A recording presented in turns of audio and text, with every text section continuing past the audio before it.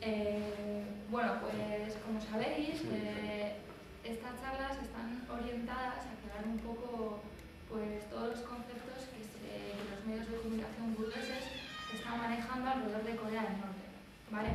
Entonces, nosotros como, como Gaste Comunista en Colectivo AC, eh, o colectivos de jóvenes comunistas, entendemos que hace falta dar un poco de claridad, hace falta dar un poco de luz a la realidad que se está vivenciando allí, los últimos acontecimientos políticos que se han ido desarrollando en los últimos meses. ¿no?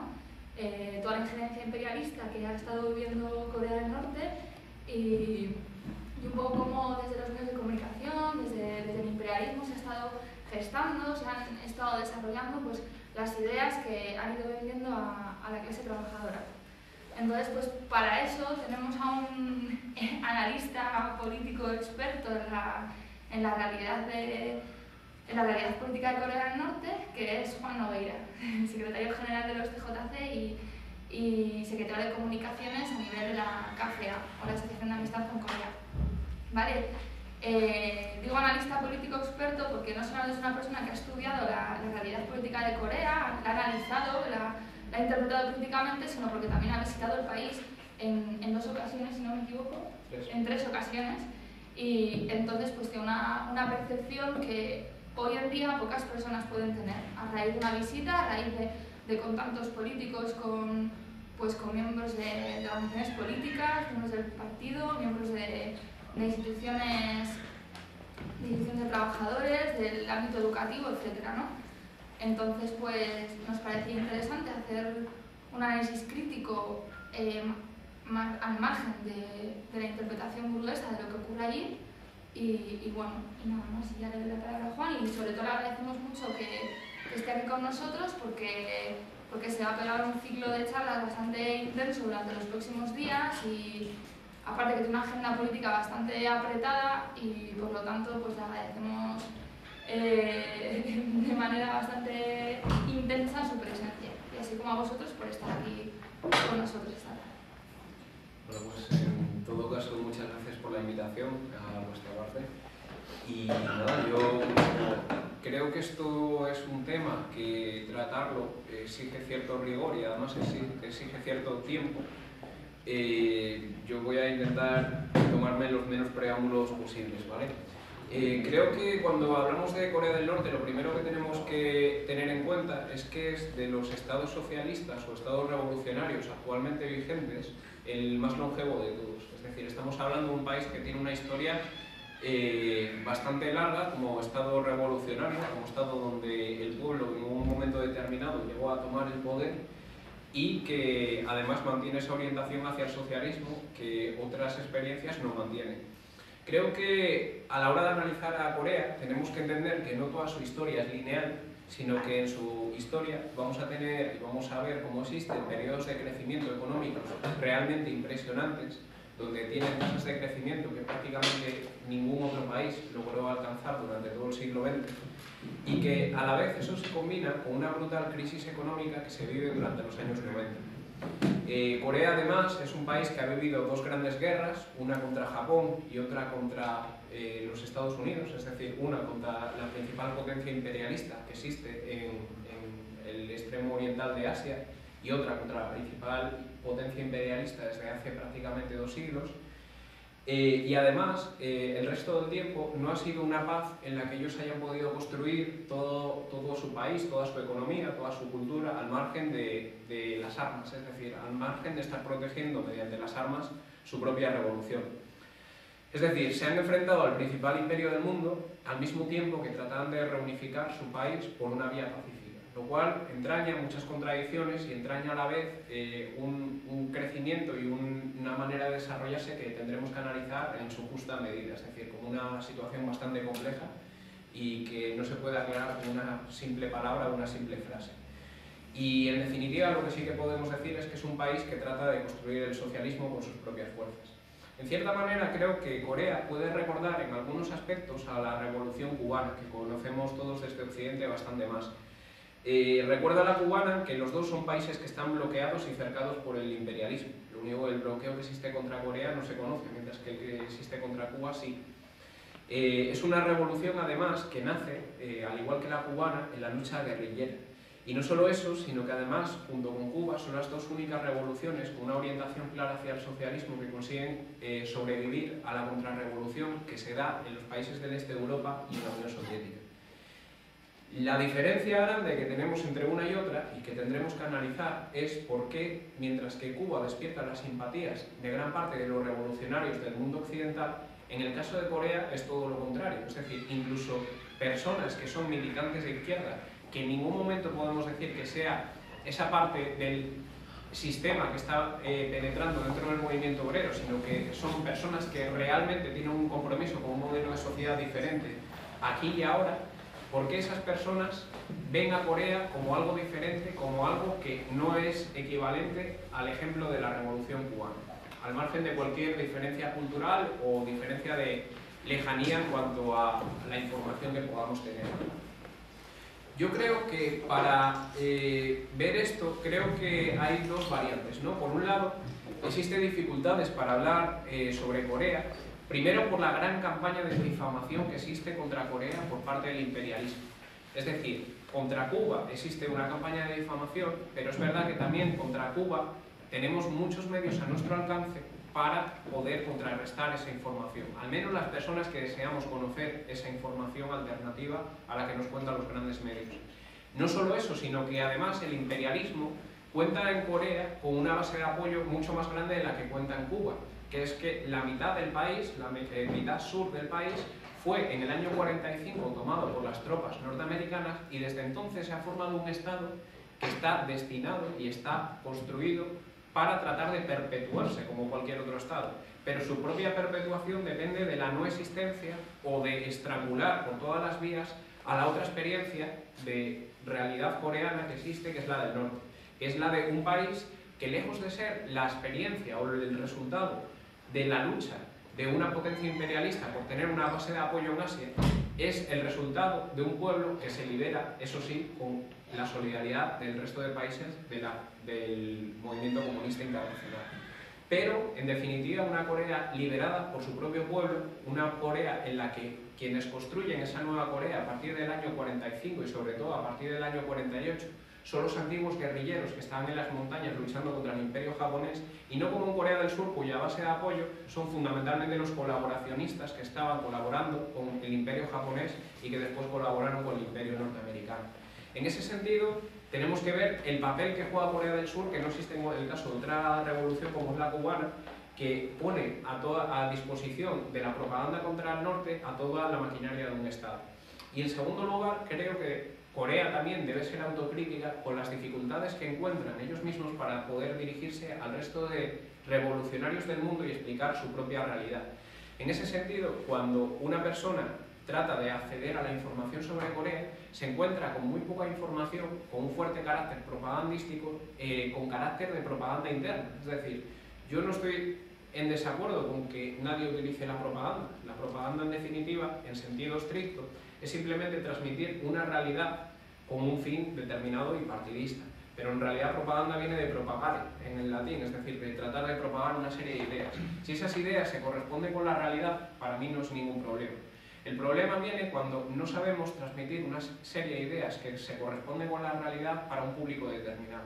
En ese caso, Corea lo que no consigue en ningún caso, en mi opinión, es tratar de tener unas categorías completamente distintas. Y creo que eso es uno de los, el segundo gran fallo a la hora de poder entender a Corea. Creo que como personas del de, eh, extranjero, personas que estamos en el Estado español y queremos saber más sobre Corea, en todo caso, debemos tratar de no hablar el idioma del enemigo, no solo no usar sus categorías, sino saber cuáles son los temas que a nosotros nos importan y cuáles son las cosas que a nosotros nos interesa conocer. Es decir, uno de los grandes fallos que yo creo que existe dentro de las personas que tratan de ser solidarias con Corea es que se limitan a tratar de contrarrestar la propaganda que viene eh, por parte del imperialismo. Y en ese sentido, uno de los grandes fallos es que el sistema de propaganda que ha creado el enemigo, el imperialismo norteamericano en Corea del Sur, es tan sumamente cerrado, es tan sumamente un puzzle donde todas las piezas encajan de manera perfecta que o lo barremos completamente y tratamos de construirnos en función de la realidad de Corea una nueva interpretación sobre ella, o realmente no vamos a ser capaces de, punto por punto, ir eh, desentrañando todo. Porque a cualquier cosa que nosotros podamos decir, ellos van a tener una cosa diferente que, responder. Es decir, es lo típico de, no, yo, a ver, yo he estado en Corea y yo he hablado con la gente, entonces la gente que viene comida por el discurso del imperialismo te va a decir, ya, pero los que vinieron es que es gente que es parte de la élite del país y por tanto está de acuerdo con el sistema. No, no, que yo estuve en muchos sitios y en el tren iba con no sé qué, ya, pero ese es que le comerían el cerebro, porque ahí la propaganda es muy fuerte. No, pero yo no sé. O sea, quiero decir, para cualquier cosa te van a decir una eh, cualquier cosa. Su sistema es perfecto para poder eh, deslegitimar cualquier cosa que vayamos a poder decir.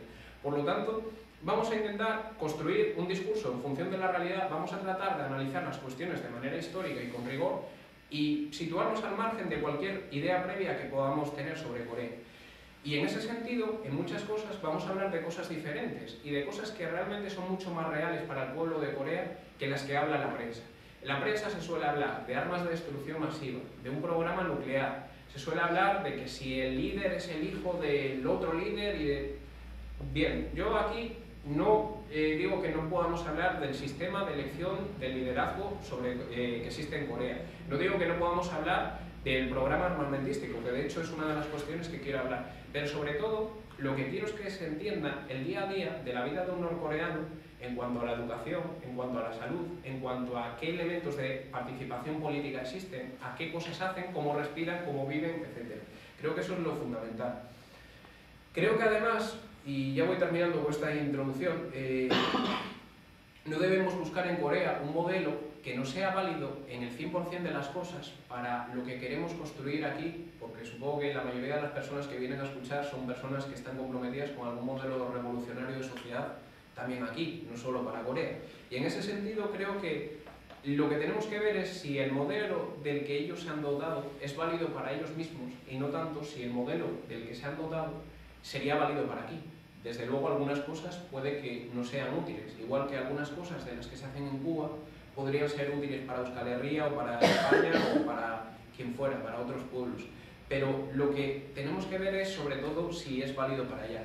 Y finalmente decir que buscar la verdad sobre una realidad socialista no quiere decir ser asépticos. Es decir, yo eh, desde luego voy a valorar y quiero encontrar la verdad sobre Corea, pero lo que no voy a hacer es como si a mí me diera igual una realidad socialista o no socialista. Desde luego yo soy internacionalista, proletario, y por lo tanto tengo un compromiso con esa realidad de Corea.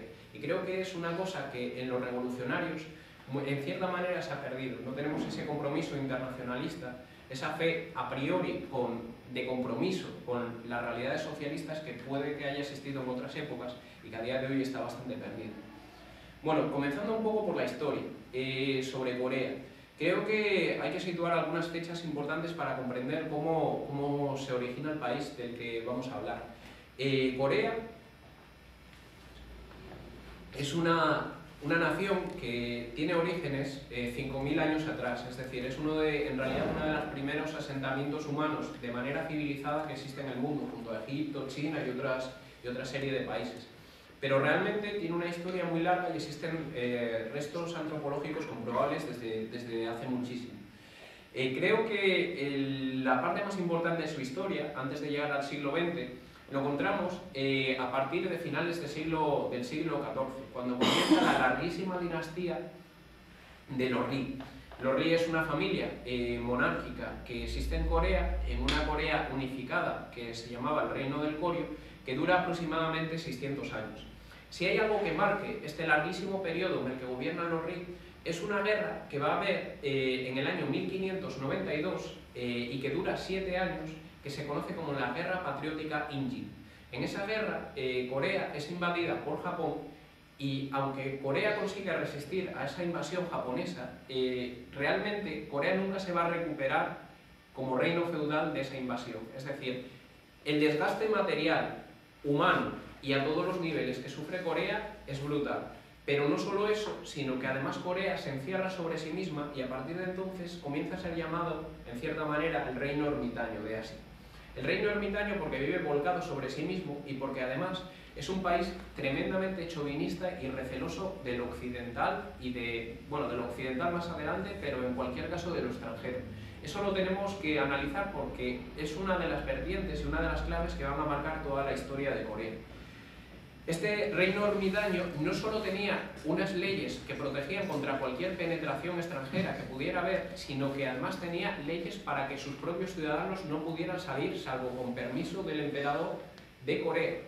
Es decir, existían todo tipo de leyes restrictivas con cualquier contacto con el extranjero. Incluso cualquier entrada por parte de un extranjero dentro de Corea era penado con la pena de muerte. Para que os podáis hacer una idea de cómo funcionaban las cosas entonces. Corea, aparte, con la debilidad económica que tenía a partir de esa guerra, se convirtió en cierta manera en un reino vasallo de, China, era el imperio dominante en esa zona. Y en el siglo XIX, como sabéis, comienza todo el declive, un largo declive de, de China, que va a ser aprovechado por las potencias extranjeras, occidentales, para dividir China en zonas de influencia.